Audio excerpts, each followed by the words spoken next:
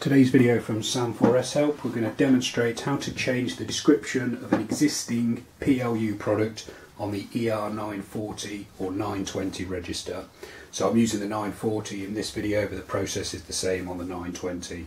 What we're going to do in this video is show you how to change this product description from Factures to Factures Gold. You'll need a couple of things in addition to the register. You'll need the key marked P and you'll also need the alpha keyboard underlay so you can type in the new description. First thing to do is to turn the key round to the program mode and then on the 0 to 9 keypad type in 300 and then press the subtotal key. You then press the product that you want to change the description of and you can now type in the new description using the alpha keyboard.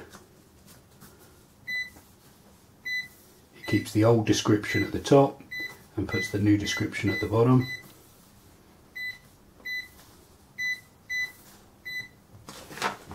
Once you've typed in your description you can press X time or quantity time to save.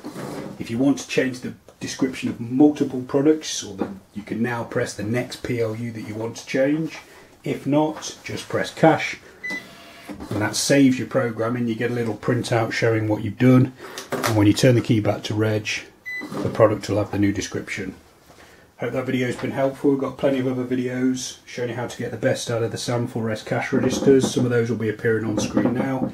You're welcome to check those out. You can also subscribe to this YouTube channel or visit sam4shelp.co.uk for more. Thanks for watching.